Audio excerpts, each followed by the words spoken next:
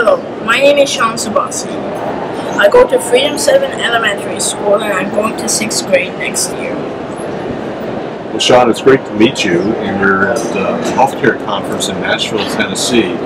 Can you tell us what you're doing here today? I constructed an artificial pancreas model to model the real artificial pancreas, which would mimic the real pancreas for people with type 1 diabetes.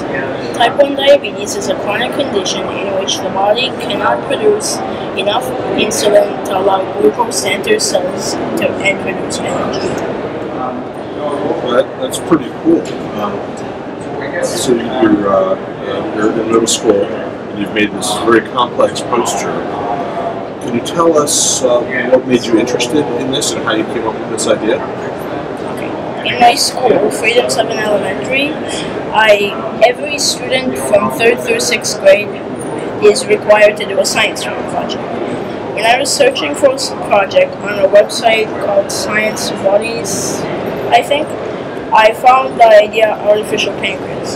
I, as I looked at it, I noticed how many people I knew with diabetes and how much they were affecting my lives.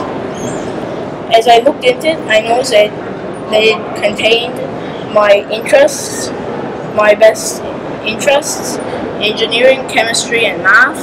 And then when I noticed it incorporates it to help people live even better lives, I thought that was even better.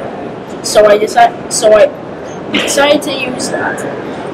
But as I was going, I changed some. I changed the experiments and also added the manual and personalized experiments along with that as I went on.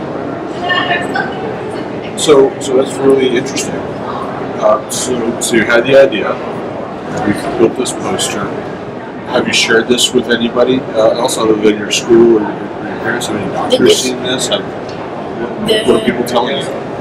Well, so far it's been mostly my school and my parents, and also the district science fair.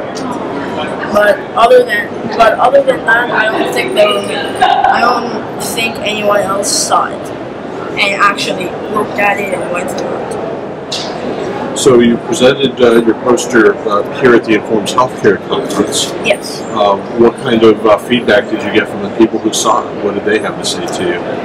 They were mostly surprised that I had gotten into a conference for PhD students with this, and they also thought, and they also, they also thought it was good that I was trying to construct something that would, that the, in which the real object would help people live better lives. Well, that's really terrific. I hope you got an A on your project.